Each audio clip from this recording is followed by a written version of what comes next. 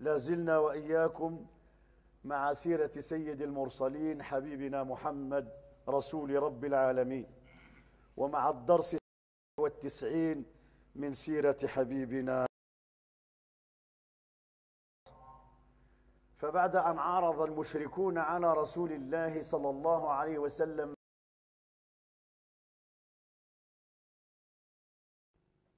ذكرنا في اللقاء الماضي أنهم طلبوا منه أمورا هي لهم ليعرفوا كرامته عند ربه.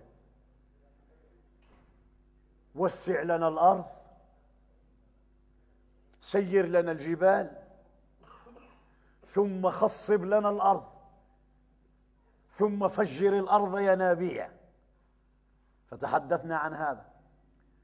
ثم طلبوا منه أمورا أخرى لفائدته هو.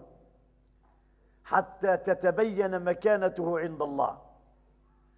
فطلبوا منه أن يرزقه الله تعالى بيتا من زخرف من ذهب ومن فضة وأن يعطى بستانا نضرا ملتف الأشجار تتدفق الأنهار وتجري من خلالها حتى تتبين مكانته عند ربه.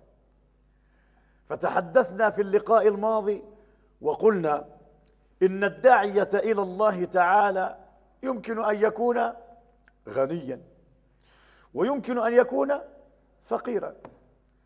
المهم والمقصد الذي انتهينا إليه في اللقاء الماضي أن الداعية إلى الله تعالى عليه أن يكون غنيا بربه غني القلب.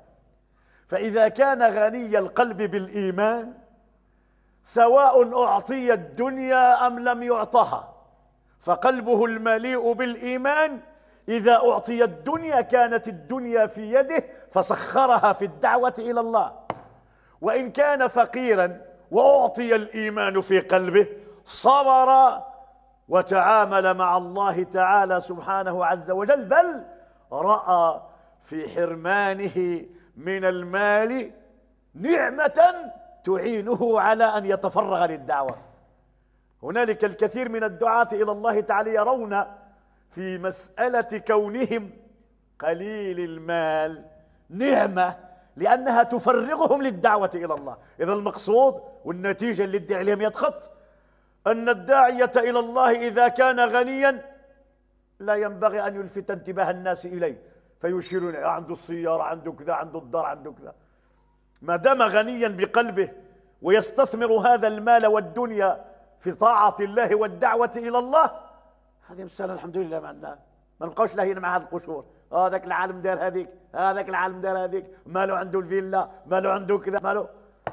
إذا لم يتمتع العالم الداعية إلى الله تعالى بهذا ويعتبرها من سعادة العبد في الدنيا الدار الواسعة والمركب الهنيء والزوجة الصالحة والأولاد الأبرار والجار الصالح كلها من سعادة المرء في الدنيا. أي تعين المؤمن على طاعة الله. وقد قال رسول الله صلى الله عليه نعم المال الصالح بيد الرجل الصالح. بيدي نعم المال الصالح. المهم أن يكون المال حلالا صالحا. لا يكون من شبهة ولا من خبيث.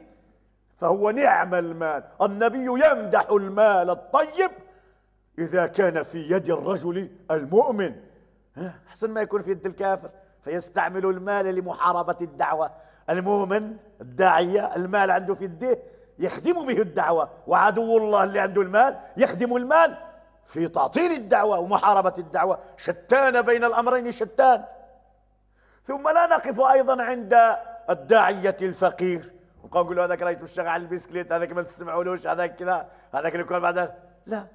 فهي أيضا نعمة بالنسبة إليه لأن ذلك يفرغه تماما لدعوته إلى الله تعالى. شوفوا أحبابي شوف. إن كثيرا من الأحاديث التي جمعها الإمام المنذري في كتاب الترغيب والترهيب جمع حديث كثيرة تمدح الفقر وتمدح الفقراء. وعندما يتحدث عن الغني في الإسلام يريدون أحاديث معلولة. يقولون إن فقراء المسلمين يدخلون الجنة قبل أغنياء بخمسمائة سنة. مزيان ويقولون إن عبد الرحمن بن عوف أحد العشر المبشرين بالجنة يدخل الجنة حبوا لأنه رزق الماء. فيرد الإمام الغزالي رحمه الله حكيم الدعاة فيقول هذا يناقض توجه الإسلام كتابا وسنة. ليس هنالك مذمة للمال بذاته. المال لا يذم بذاته. إنما يذم الإنسان الذي يملكه المال ويصير عبدا للمال. المال وسيلة لخدمة الدين. فكيف يذم المال؟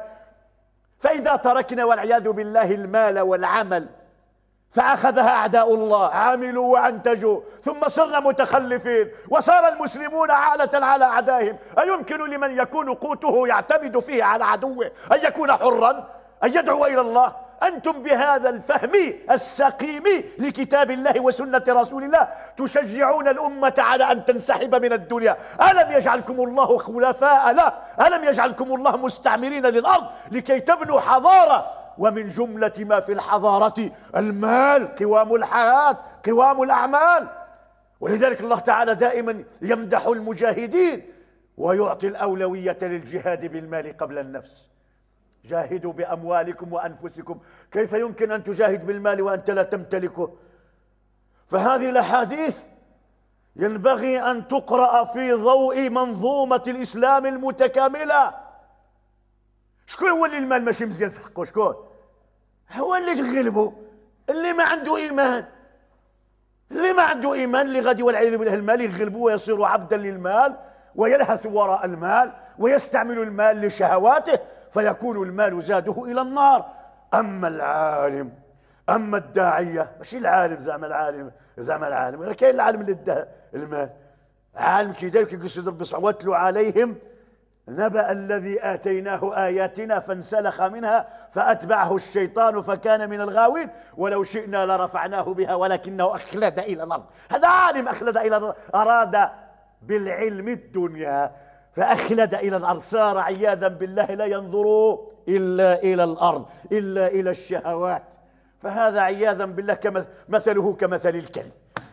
إذا ليس المال زيد مذموما في ذاته. أريد للعالم أن يسمع. ليس المال مذموما في ذاته إنما المال يذم عند من لا يحسن استثماره في خدمة الأمة والدين. هذا علاش؟ ولذلك سيد النبي من قالوا له؟ نريد أن تكون لك مكان عند الله باش بأن يكون لك قصر من ذهب. وأن يكون لك ضيعات من الفاكهة وأن تكون لك بساتين تتفجر في الأنهار. نبقوا يقولوا له هكذا. يطلبون من النبي صلى الله عليه وسلم أن يكون غنيا. هم كانوا يريدون أن يزنوا قيمة العبد باش بالمال وهذا هو الخطأ.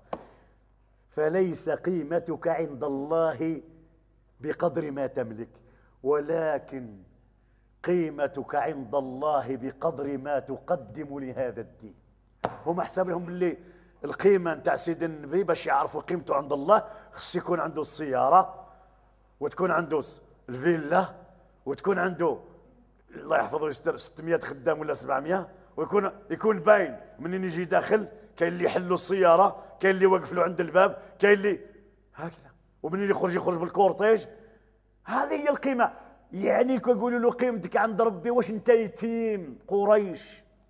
وساكن في حجرة لا يستطيع العبد أن يدخلها إلا وقد أثنى ظهره لأنه لو دخلها مستويا لأصاب رأسه. الحائط. يقول له وش هذه القيمة يعني يريدون والعياذ بالله أن يقيموا الناس وأن يحددوا منازل الناس بقدر ما يملكون من الدنيا. هذا خطأ. هذا خطأ. فقيمتك عند ربك بقدر ما تحمل من خير لهذه الأمة وبقدر ما يثمر حبك بقلبك للأمة. أعمالا يراها الناس فتبقى ويبقى أثرها بعد موتك.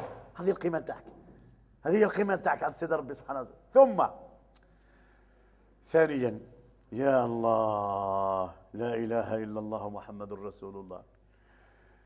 الإنسان الداعية إلى الله قبل مكة. شوف قبل المدينة. كان داعية كان كان داعية. كان غير داعية قبل ما يبني الدولة. كأن ثمة إشارة تدعو الداعية إلى الله في زمن الاستضعاف لمن؟ تدعوه إلى ماذا؟ تدعو إلى ماذا؟ أنت ما عندكش الفلوس. وأنت تدعو إلى الله. الدعوة تحتاج إلى المال ولا ما تحتاج؟ وش تحتاج إلى المال؟ إذا كيف يصنع الداعية الذي يجد نفسه مع دعاة فقراء؟ كنا في واحد القس في وجدة. في الثمانينات اللي كيدعيوا لله تعالى حتى واحد ما خدام. ويفتحوا البيوت نتاع بعضهم بعض وحتى واحد ما عنده دار وكل شيء الدار تاع كنا شبابا صغارا.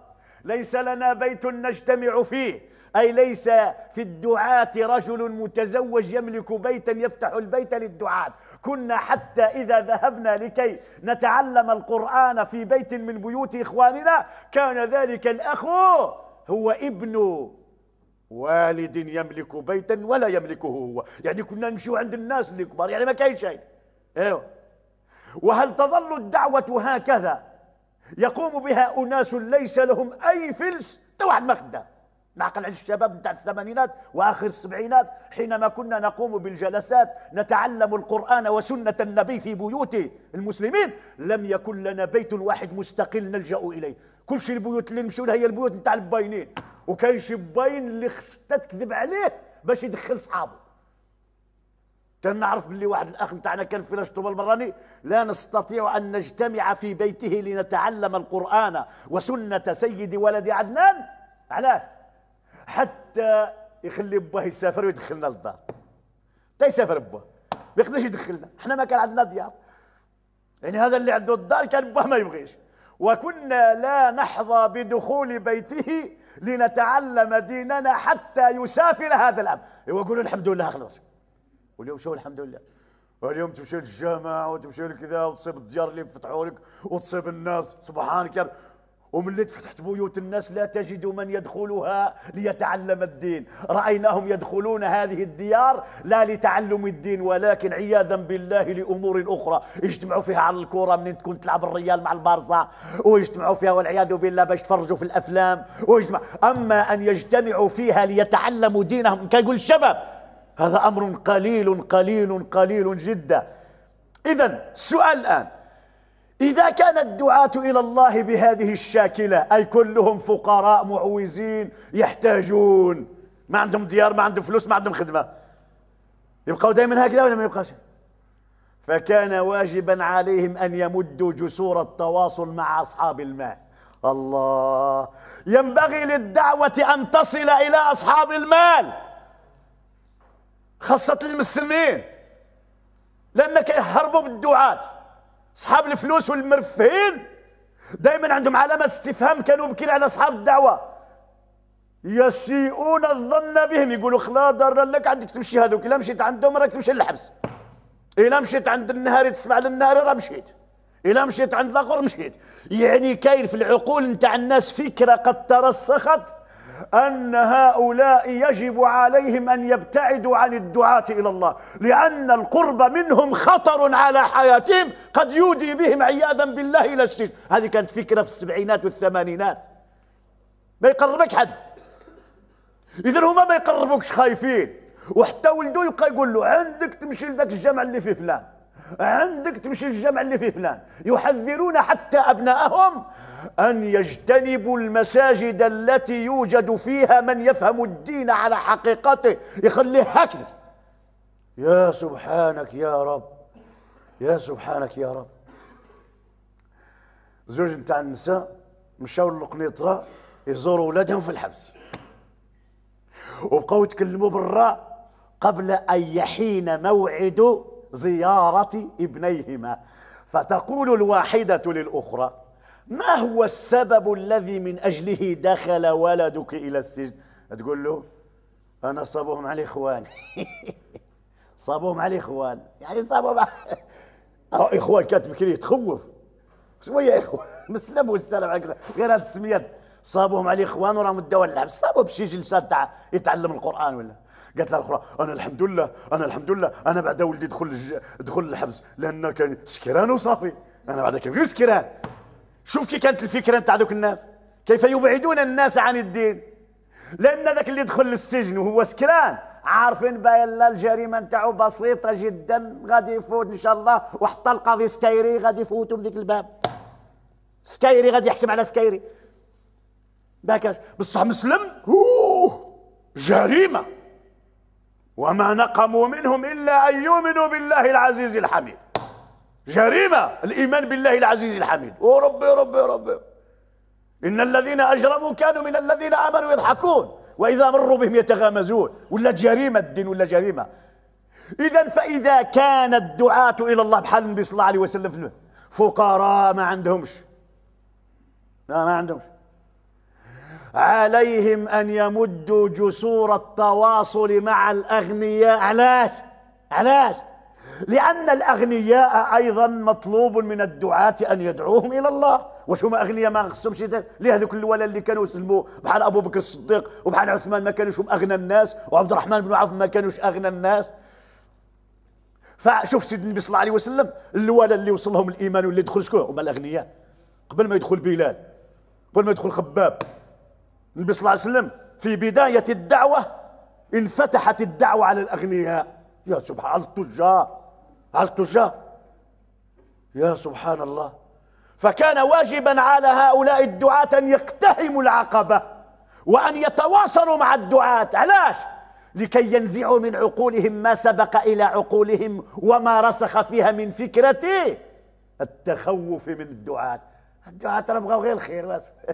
بغاو غير الخير. راه بغاو لك الجنة. بغاو لك الجنة.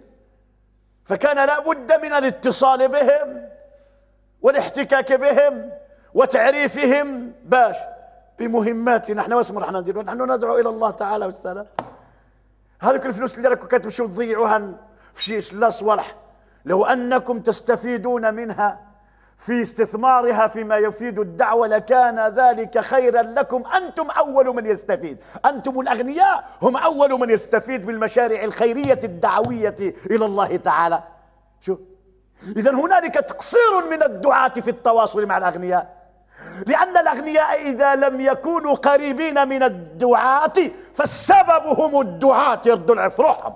إحنا اللي خصنا نمشي وندعيهم. لأن إحنا اللي مأمورين أن نبلغ. ما تبقاش والعياذ بالله تسيء الظن بالناس. انت خصك تقرب لهم. يقول لك الاغنياء في وجده فين راهم الاغنياء في وجده راهم غير مع فلان. ما متصلش كاع بكم. ما متصلش كاع بكم. وانت علاش كتقول الاغنياء أنا ما نبغيهمش؟ أنا ما نبغيهمش ولكن الأخرين خصهم. خصهم يقربوا لهم. خصهم يقربوا لهم. لأن إلا كانوا مجتمعين الأغنياء غير مع واحد السيد حتى غير واحد الداعية بوحده هذاك الداعية اللي عنده شي تصور خاص نتاع الدعوة. سيستفيد من الأغنياء فاش؟ في مشروعه هو كما يراه هو. فلو أن الأغنياء التقوا بكل الدعاة إلى الله سبحانه لانتفعت الدعوة في كل مجالاتها ولا ينتفع مجال واحد. كاين شي داعية اللي ما يعطي الصدقة وما يبني الجامع غير يفوت على فلان. على ولكن هذاك الجهة واسمه هي؟ هذيك غادية غير مع الجوا مع القران هنالك دعاة يمكن أن تستثمر أموال الأغنياء. فاش؟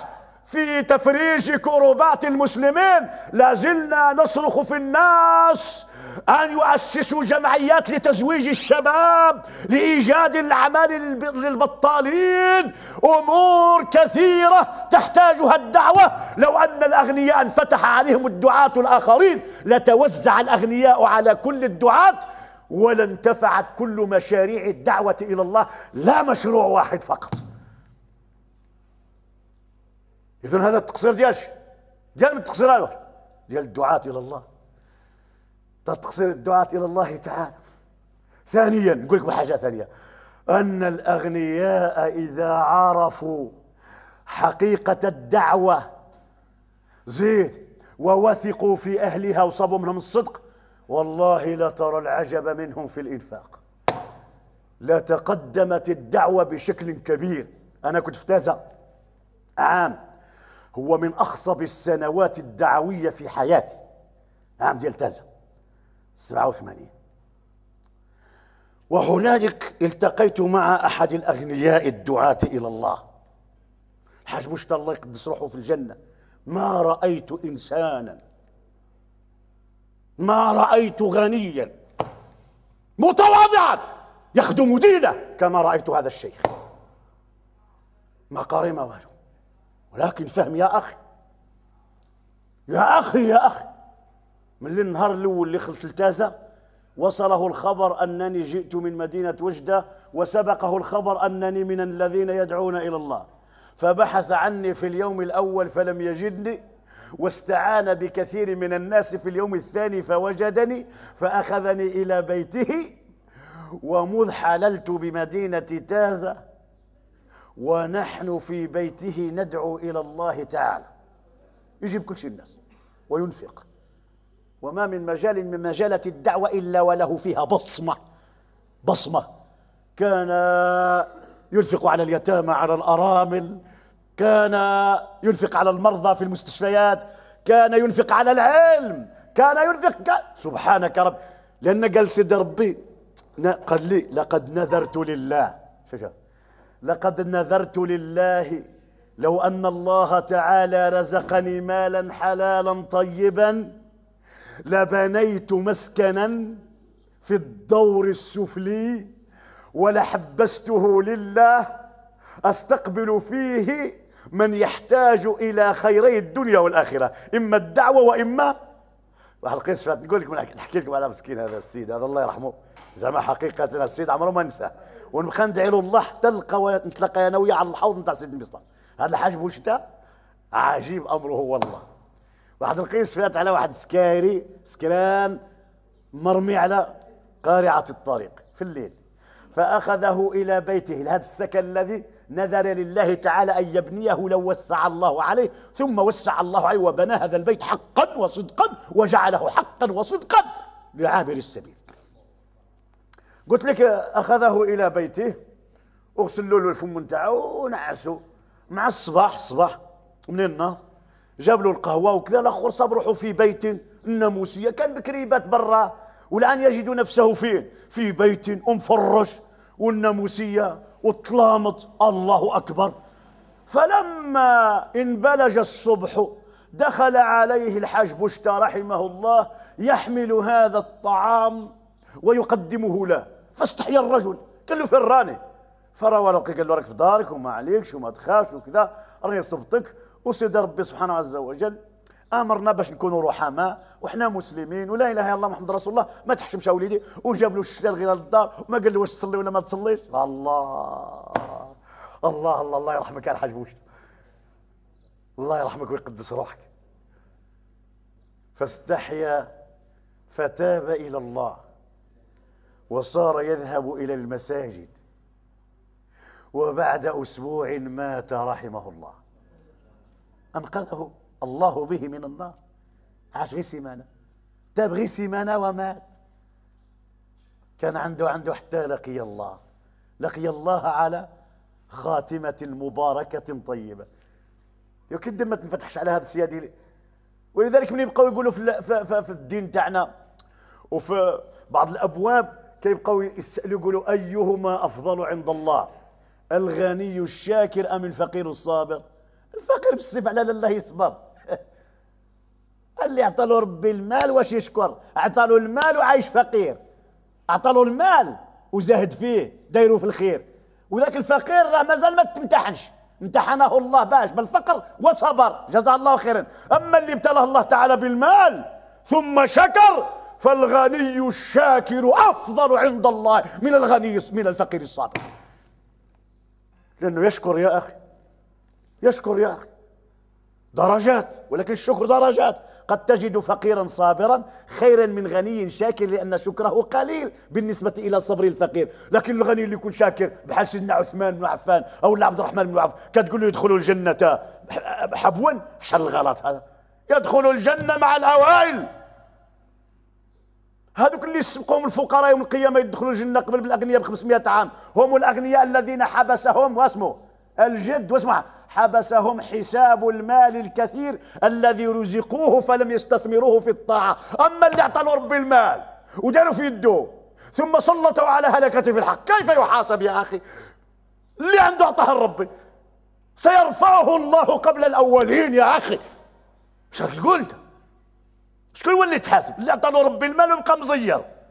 يدير الخير غير بشوي شوي يخرج غير الزكاة وحابس الآخر الزكاة وحابس الآخر هذا كي حبسته يحبسك.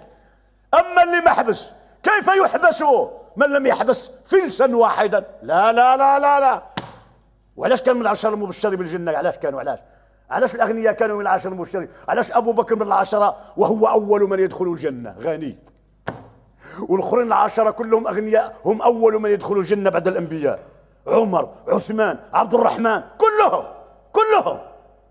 قال بهم سيدنا علي. سبحانك يا رب سبحانك. باش تبدل الفكرة تاع الناس. فعلى الدعاة أن ينفتحوا على الأغنياء لأن هذا فيه تصحيح لصورة الأغنياء عن الدعاة. ولأن فيه مصلحة للأغنياء حينما ينفقون في سبيل الدعوة ومصلحة الدعاة إلى الله تعالى حينما يقتربوا. وثالثا لأنهم حينما ينفتحون على الأغنياء يجدون أن كثير من الأغنياء هم من أطيب خلق الله ومن أحب الخلق إلى الله تعالى ويحبون الدعوة إلى الله. أنا من نبقى نشوف العمل ديال الخير وهذاك الشيء اللي كيدار كيديروا الناس اللي لاباس عليهم اسيدي وكيقول لك ودي إحنا غير ما صبناش. فاش نثقوا نحن لم نجد من نثق فيه. لو وجدنا من نثق فيه لأنفقنا بغير حساب. أخويا قال لك لما رحنا نجمع سيدي لما رحنا نجمعوا لا لا يخلي الورث ما يورث. نحن نريد أن نلقى الله تعالى على خير كثير. هذا منين يكون الداعيه اسمه؟ فقير وفي أيام الدعوة. وحينما تصير الدعوة إلى الله وتتحول إلى دولة كيف المدينة؟ أصبح النبي الآن ماشي فقير. أصبح عنده دولة. كما الآن الحركة انتقلت ماشي من فترة الدعوة إلى فترة الدولة. البارح البارح صوتوا على صوتوا. البارح صوت كيف يتعاملون مع الأغنياء؟ هنالك توجس كثير وكبير. مناش ممن يسمون شكون هما؟ مؤسسة المقاولين. المقاولين لي زونتربرونور الأغنياء. علاش؟ يقول لك هذو غادي يجيو هذ الإخوان غادي يجيو وغادي يريدون أن يفرضوا علينا الضرائب. و و و ولذلك اسمه نهربوا فلوسنا لسويسرا كما هربوهم. تعرفوا باين 13 مليار دولار؟ تهربت في ثلاث أيام في مصر لما سقط طاغوت. شكون؟ مبارك ولا زالت الأموال الآن تخرج من مصر. وتمشي له علاش؟ خايفين الناس خايفين هذو شكون هما؟ خايفين. ما يعاونوش هذه الحركة. الأغنياء هم علاش؟ الأغنياء يخافوا بزاف. علاش؟ لأن عندهم الفلوس. وعايشين مع الفلوس. يقول لك أنا حياتي كاملة وأنا نعرق وجمعت الفلوس. وهذا النظام ما فيش استقرار. أنا لا إله إلا الله. نديها الفلوس نتاعي لمكان فيه الاستقرار أخويا باش نبقى نضمن الفليسات نتاعي. يجيو الوقت ما تعرف كاع اسمو يديروا فيهربون الأموال. والحكام كاملين ديال العرب. كاملين. كل شيء عندهم الأموال فين مهربينها في أوروبا وأمريكا. بالملايير. بالملايير. مهربينهم الناس ما تيقاش. وكاين أكثر من ذاك الشيء. ماشي مهرب غير المال. واسمو حتى الجنسية نبدلها عنده جنسية مغربي اسبانيولي مغربي وطالياني. لأنه يقول لك أنا أنا وهي. جنسية تصيب عنده ثلاثة. تلاقيت مع واحد خويا في فرنسا. آه صبت عنده ثلاثة نتاع الجنسيات. مغربي وإسباني مغربي وإسباني وفرنسي. قلت له كي درت لها أنت قال لك أنا مغربي زايد في المغرب. وأنا اسبانيولي لأن عندي الصوالح في اسبانيولي والصوالح وفرنساوي أنا عايش في فرنسا. هو مسؤول تاع واحد المسجد كبير في باريس. عنده ثلاثة نتاع الجنسيات. قلت له حلي لي هذا الشيء عندنا في فرنسا امال كان في المغرب لو كان زدت السادسة ولا السابعة. لأن المغرب ما راس كاع واسمو يكون فيه. الله يجيب الخير. شو انت الناس غير اصحاب الفلوس. مهرب فلوسه وعنده اربعه نتاع الجنسيات. يا ربي يا ربي يا ربي. شوف هذا الإشكال هذا. الناس خايفة على فلوسها ومنين يجيو الناس؟ دال الدعاة هما ينجحوا يولوا له يزيد الخوف. ربي هذو ما اسمهم جايين مولانا الكريم. ولطيف. فكان لابد على الدعوة إذا وصلت إلى الدولة دولة الهداية أن تطمئن هؤلاء أن تطمئنهم. هم خير لكم من كل الناس. هم شركاؤكم في بناء البلاد. ستربحون معهم أكثر. ستربحون في الدنيا والآخرة. إن كنتم تربحون مع الآخرين في الدنيا فقط. لأن ما ما يديروش عليكم الضرائب ولأن عندكم دخلات ولأنك تدخلوا بذاك ولأنك يرفعوا عليكم. هذوك غادي تربحوا فاش؟ غير في الدنيا وغادي تجمعوا وتموتوا وتخليهم كل شيء والعياذ بالله باش تحاسبوا عليهم. أما هؤلاء إن صح إن كنتم صادقين فستربحون معهم في الدنيا. علاش؟ لأنهم صادقين فيما يقولون وما يعدون الناس. ثانيا أنكم تربحون في الآخرة لأنكم إن شاء الله تعالى ستوظفون أموالكم في بلدكم وستحققون بذلك العمل الخيرات للبلاد وسيعطيكم الله أجر استثماركم الأموال في بلادكم. أليس من يحارب الفقر كمن يحارب الكفر؟ ألم يقل رسول الله كاد الفقر أن يكون كفرا؟ إذا كنت أنت توظف مالك في بلدك وتشغل الناس ويمشوا هذا الناس يتزوجوا ويديروا ديار وتولي إن شاء الله أنت وفرت لهم إن شاء الله المصدر ديال العيش باش ما يحرقوش باش يحبوا بلادهم. أليس ذلك من جلائل الأعمال التي تفتقدها الأمم؟ يا الله بلى والله بلى بلى والله. ولذلك هذا الناس هذو من يوصلوا للدولة. هي دولة هداية وليست دولة جباية.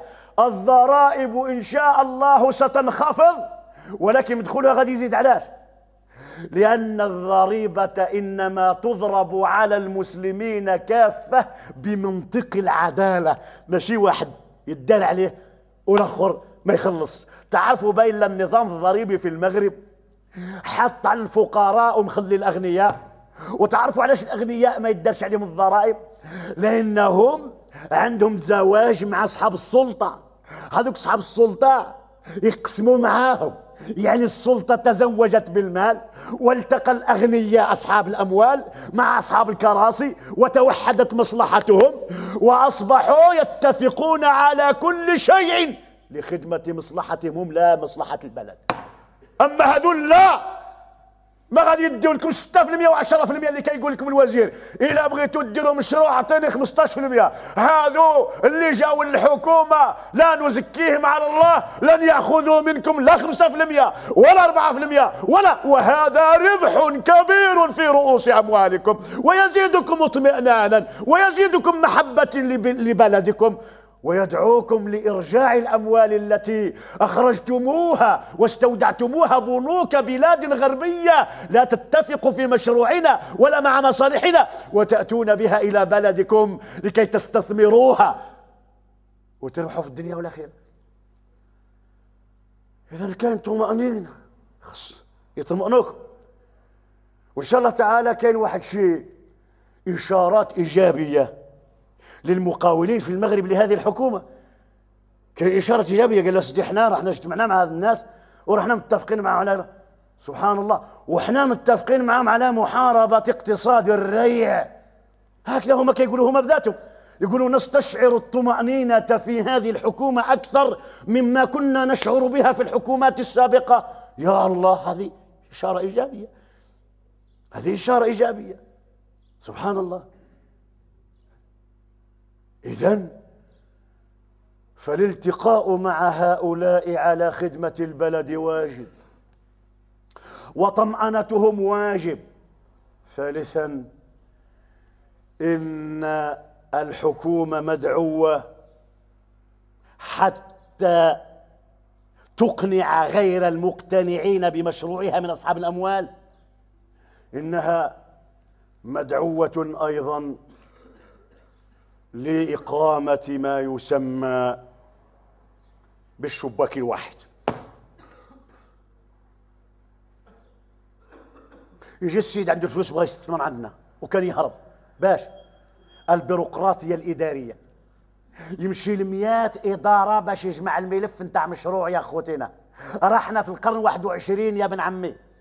الناس تقدر تمشي لشي بلاد ودير شي مشروع تمشي لبيرو واحد شباك واحد تجمع فيه كل شيء الملف لا نتاع الضرائب ولا نتاع المالية ولا نتاع المشروع ولا نتاع المسائل الاجتماعية كلها في بيرو واحد أو لا في باطمه واحدة يلتقي في باطمه واحدة مع كل المصالح ما يمشيش من فاس للرباط للدار البيضاء يعكزوا في حتى يهرب صاحبي.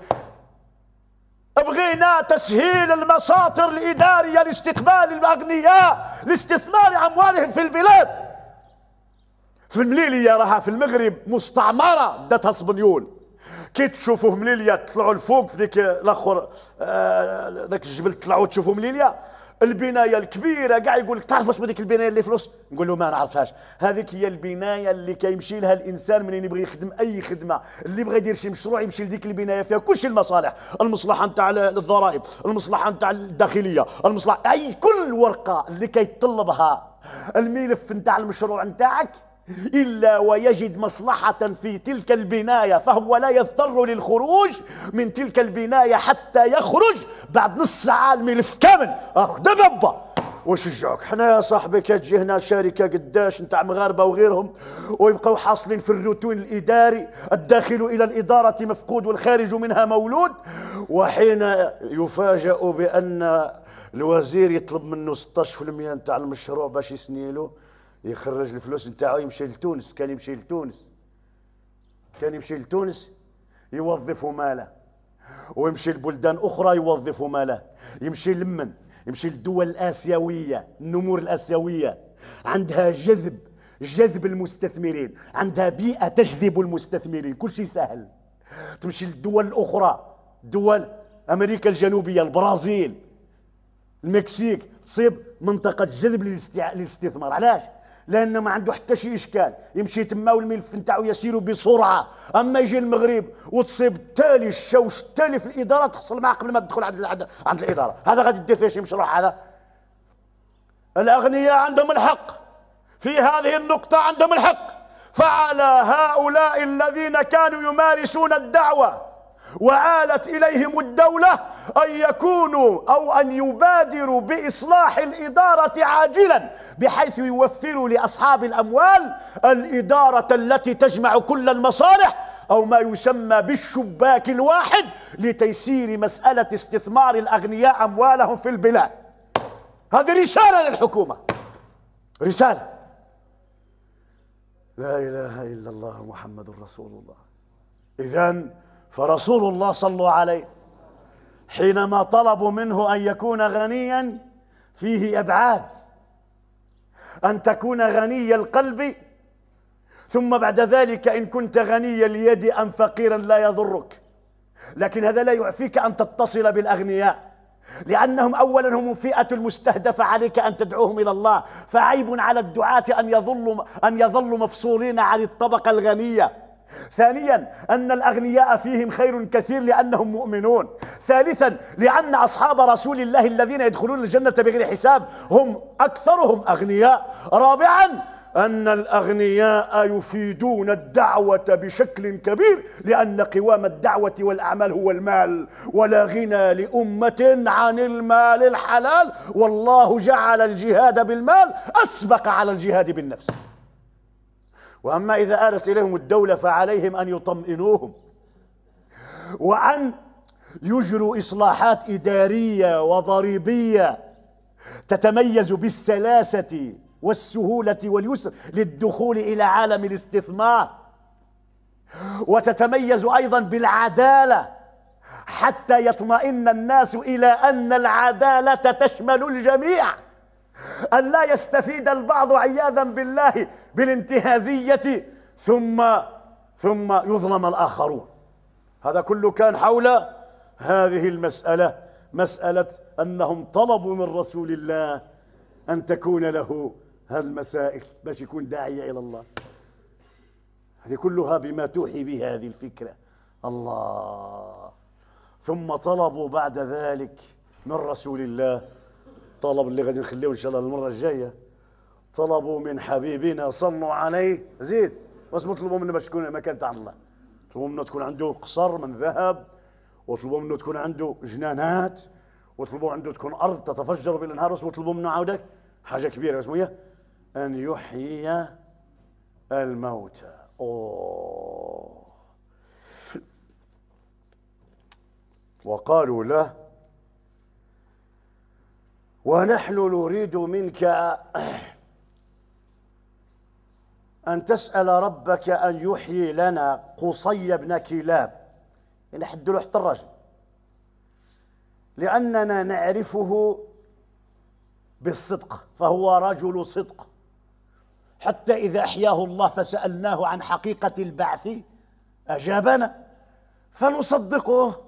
إذا أنت يجيب شي واحد ميت باش يصدقك. فليكن قصي بن كلاب. احيي لنا الموتى آه. يا الله يا قطعت به الأرض أو كلم به الموتى آه.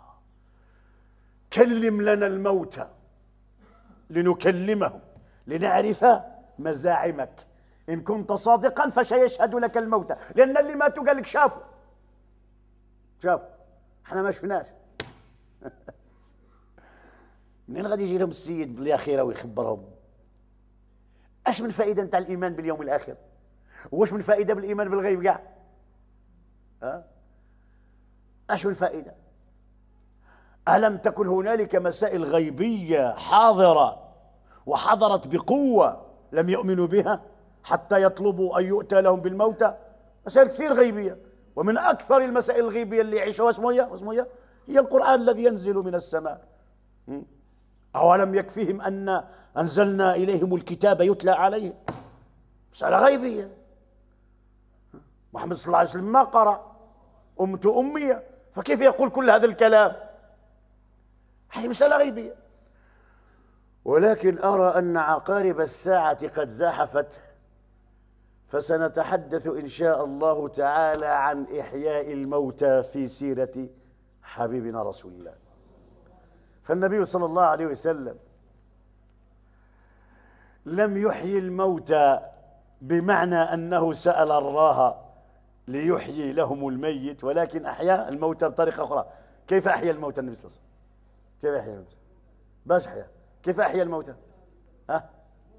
ها؟ عليه الصلاة والسلام. كيف أحيا النبي صلى الله عليه وسلم؟ هذا قال عليه أحياهم كيف احياهم بالإيمان. أو من كان ميتا فأحييناه اللي كان في الجاهلية ترك ميت. اللي ما أمش بالله راه ميت.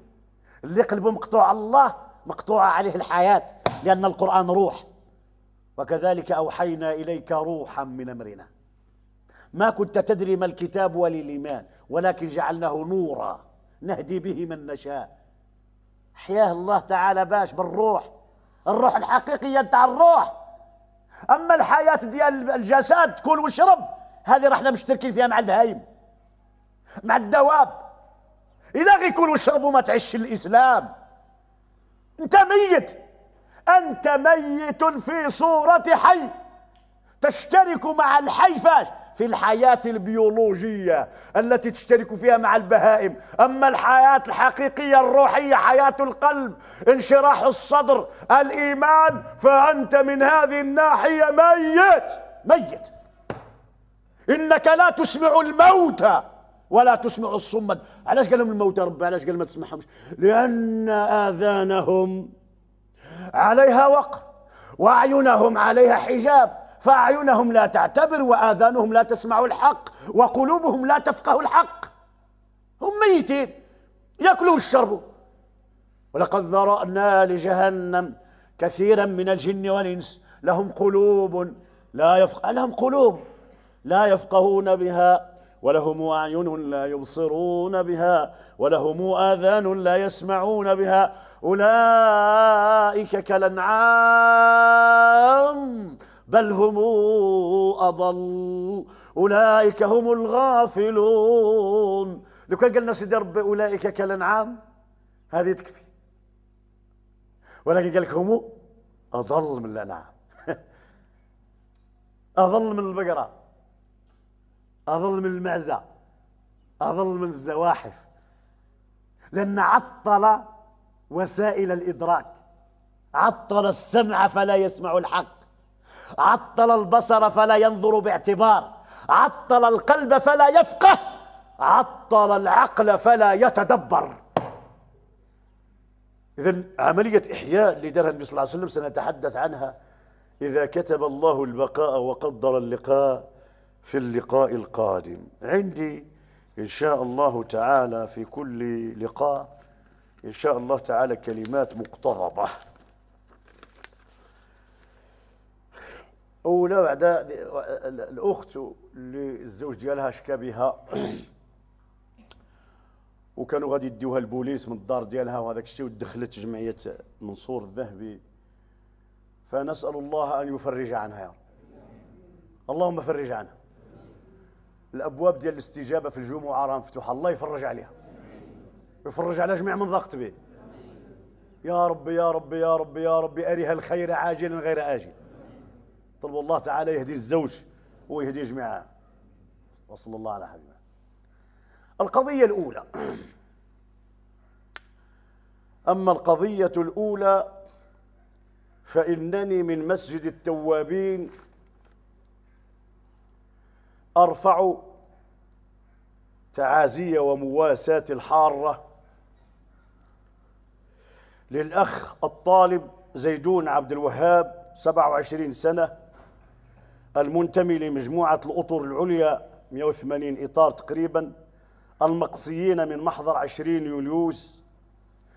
أقدم تعازي بسبب وفاته من جراء ما تعرض له من حرق. أعزي والديه الله يعظم أجركم يا الوالد. وأعزي هذه المجموعة كلها في هذا الأخ الذي وافته المنية في المستشفى. نهار ثلاثة الفايتة. الله يرحمه ويسع عليه. وإن كنت قد شددت في مسألة تعاطي لحرق الذات وقلت إن هذا عمل غير مشروع حرام. وطفق الكثير ممن يكتب إلي عبر البريد الإلكتروني أنك تخاطب هؤلاء خطابا قاسيا في حين لا توجه هذا الخطاب لمن ظلمهم. اسمعوا يا أخوتي أنا قلت في الأول الظلم ماشي مليح. والظلم كما كان داير ينبغي أن يقول له يا ظالم. لكن لا ينبغي ابدا ابدا ابدا أن تضحي بنفسك. اطلب حقوقك. أنا معك في حقك. اطلب حقك بالطرق المشروعة. لكن لماذا تقتل نفسك؟ ألست أنت الخاسر؟ انت اللي خسرت يا صاحبي. إحنا نطلب لهم الرحمة ياك. ولكن كنقولوا يا صاحبي طلب حقك. واصبر يا صاحبي.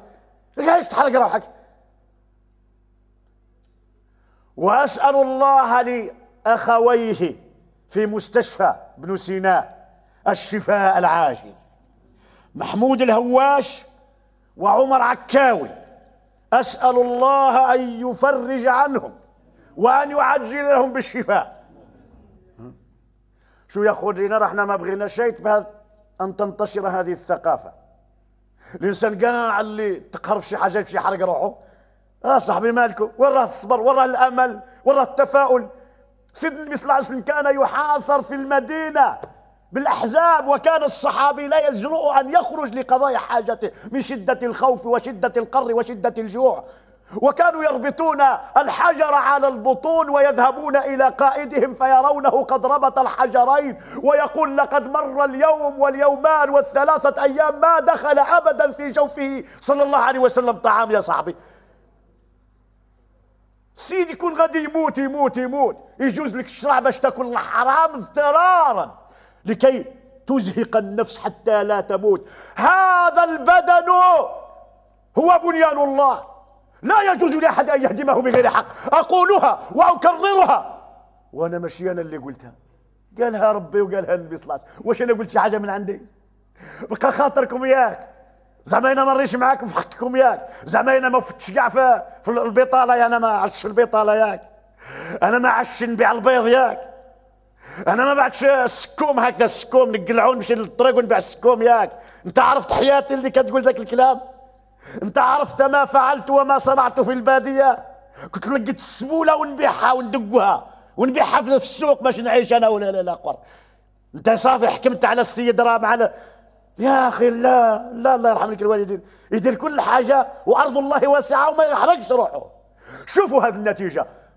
أحرق بالأمس نفسه. والله ايوا شوفوا فين وصلنا بالأمس قام شخص بمحكمة قلعة السراغنه وفي القاعة بإضرام النار على نفسه بعد أن أكب على جسده خمس لترات من البنزين. اي والله هذا الشيء فين بغيتوا نوصلوا؟ هذا ماشي على الخدمة أنتم على الخدمة. هذا ماشي على الخدمة هذا. هذا ظلموه. ولما طالت المسطرة نتاع استعادة الحق ما صبر شيء. وها هو يلجأ في قاعة المحكمة وفي جلسة رسمية علانية بأن يصب البنزين على بدنه في هذه راها ثقافة ماشي نتاع المسلمين أخلا دار شركم أش هاد الشيء؟ أش هاد الشيء؟ من سن سنة سيئة. كان عليه وزرها ووزر من عمل بها إلى يوم القيامة. الله يهديكم أولادي. الله يهديكم أنا شوف وأنا واش نطلب لكم؟ نطلبوا الله تعالى يفرج عليكم.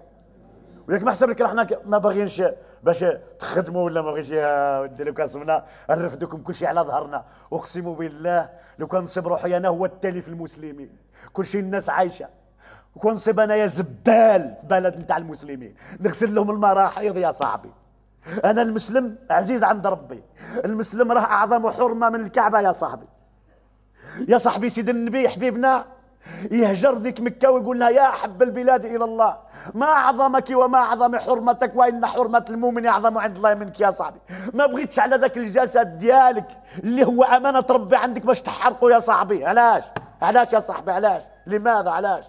راه لزوال السماوات والأرض أهون عند الله. من الاعتداء على نفسي يا أخويا. راه ربي اللي قال ولا تقتلوا أنفسكم إن الله كان بكم رحيما. راه سيدنا النبي اللي كيقول لك من تحسى سما فسمه في يده يتحساه في نار جهنم خالدا مخلدا. هو اللي يقول من تردى من شاهق فهو يتردى من شاهق في النار خالدا مخلدا. راه ما قلت أنا والو. راه حرام هالشيء راه المطالبة بالحقوق ينبغي أن يصبر الإنسان يثبت الإنسان. على حقه. كيف تقضي على نفسك؟ واخدم الظلمة. أنت تخدم الظلمة بهذا الأسلوب. الموضوع الثاني رسالة من سوريا. في البريد الإلكتروني لعبد الله النهاري يقول الإخوان في سوريا السلام عليكم ورحمة الله وبركاته. من أرض الرباط بلاد الشام إلى المغرب الأقصى. أشكركم فضيلة الشيخ على جهودكم. أما بعد فإني أود منك خاصة أن تلقي خطبة عن إخوانك في سوريا. بعد أن طال حكم النصيريين عندنا كل صغير وكبير شيخ وامرأة ونحن صابرون. لقد سمعنا منك خطبا عن إخواننا في ليبيا, ليبيا ومصر وتونس ولم نسمع عنك خطبة تتحدث فيها عن معاناة المرابطين على أرض الشام. نحن ونستسمحك نعلم أن الفرج من عند الله. شو لا إله إلا الله. ولكن نريد من المسلمين أن يطبطبوا علينا لنعلم أنهم معنا. الله. خاصة بعد أن تم كشف مؤامرات كبيرة من الحق من العرب على الشعب السوري الأعزل المظلوم. فأرجو من سماحتكم أن تخصصوا خطبة كاملة عن كل ما يحدث في سوريا. والدعاء لنا بالفرج القريب. وشكرا لكم والسلام أخوكم في الله قصي من سوريا. أولا أنتم تاج على رؤوسنا. يا أهل الشام أنتم نبوءة رسول الله. لقد قال فيكم رسول الله لا تزال طائفة من أمتي ظاهرين على الحق. لا يضرهم من خذلهم ولا من خذل قال أين؟ قال عند أكناف بيت المقدس وفي بيت المقدس. وذكر أرض الشام أنها أرض الرباط إلى يوم القيامة. وذكر الله أن أرض الشام أرض مباركة. سبحان الذي أسرى بعبده ليلا من المسجد الأقصى من المسجد الحرام إلى المسجد الأقصى الذي باركنا حوله. أنتم أعطيتم دروسا فيه. التضحية والفداء. وأنتم رأس الحربة في الدفاع عن مشروع الأمة. أنتم مرابطون. أنتم الفئة المنصورة. أنتم إن شاء الله من سيحرك المسلمين كما حرك أهل فلسطين المسلمين. أنتم للأمة مثل المحرك للسيارة. لا تنتظروا من العرب أن يتحرك لكي ينصركم فأنتم منصورون من الله وأنتم الذين ترفعون إن شاء الله تعالى العنة عن الأمة بصبركم وجهادكم كما فعل إخوانكم في الشام في بلاد غزة. قال لي أحد في مكة لماذا لا تدعو معنا؟ لماذا لا تنصر قلت يا أخي الحي هو الذي ينصر الميت. أنتم الأحياء ونحن الأموات. نحن نحتاج منكم أن تنصر قال كيف؟ قال لأنني لم أرى حيا فوق الأرض. حقيقة إلا أنتم لأنكم أنتم الوحيد الذي قلتم لأمريكا لا. وأنتم الوحيد الذين رفضتم الجلوس مع الصهاينة الذين لا زالت أياديهم تتقطر بدماء المسلمين. أنتم أنتم الذين قلتم لن نعترف بإسرائيل. أنتم هم الذين يحيي الله بكم الأمة. ثانيا التعويل على العرب قصة فجة. فالعرب قبل الإسلام صفر والعرب بلا إسلام صفر. تتناوشهم التفرقة والمصالح الخاصة. ووالله لن يكون للعرب مكان تحت الشمس إلا إذا اصطلحوا مع الله وعادوا إلى كتاب الله وسنة رسول الله.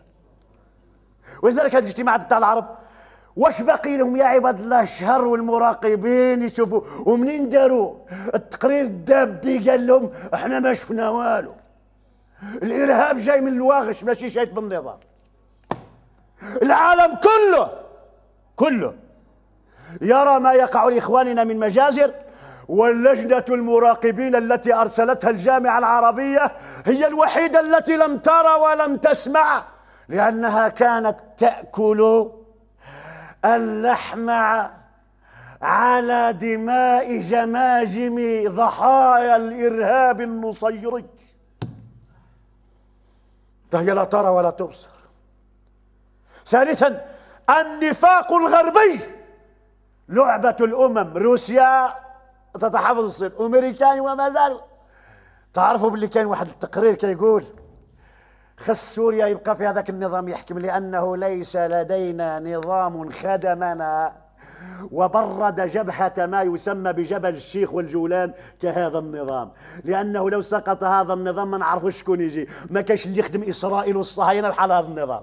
هذا النظام الخبيث الذي أحسن التعامل واللعب على الحبلين. كيقول لهم أنا هو اللي كنتمي لدول ما يسمى بالصد و ما نعرف كيف يسموها كاع. بلاد ما اعرف يعني مقاومة ولكن شوف الحقيقة. شوف الحقيقة. ولذلك إن شاء الله تعالى أنتم توكلوا على الله.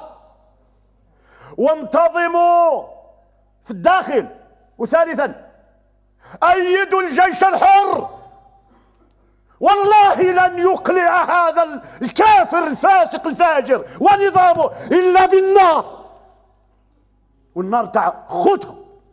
فندعو الجيش في سوريا أن ينتفض وأن يتخلى عن هذا المستبد ويؤيد الجيش الحر وعلى العرب والمسلمين والجامعة العربية أن تقدم له السلاح قبل ما يدخل الناطو أن تقدم له السلاح. هذا هو الدعم الحقيقي في هذا الوقت. العالم كله لا يريد لهذا النظام أن يسقط. ورابعا أبشروا فقد فضح الله بكم إيران والشيعة. سمعت هذا الصباح تقارير في كل القنوات تقول استطاع الجيش الحر أن يقبض على قوات الحرس الثوري. يداهمون البيوت ويقتلون الأطفال والنساء. لأن اليهود ما يقدروش يدخلوا للدار ويقتلوا الأطفال. شكون هما؟ اللي عندهم حقد كبير على أهل السنة. إنهم الروافض عليهم من الله ما يستحقون. قبضوهم ووراوهم. البسيج جهاز المخابرات الإيراني حزب الله حزب الشيطان. أعداء الله وأعداء رسول الله. فضحهم الله بكم يا أهل الشام. ما كانت الامم غالطه فيكم. غالطة فيكم. والله منشت الأسرة اللي فيها 14 قتلوها كاملة. وفيها الأطفال قلت أقسم بالله لهذو الشيعة الباطنية. أقسم بالله لإنها إيران. إيران. إيران التي ينص دستورها على أنها دولة مبنيه على الطائفة الشيعية. أهل السنة في بلوشستان ما عندهمش الجامعة. ما يخدموش حتى زبالين. كان 16 مليون في 60 مليون. ما يخدمش حتى زبال في البلدية السنة. ما كانش ما كانش الخدمه كلهم ممشي. باش تعرفوا له ولذلك نحن نجاوبك في التالي.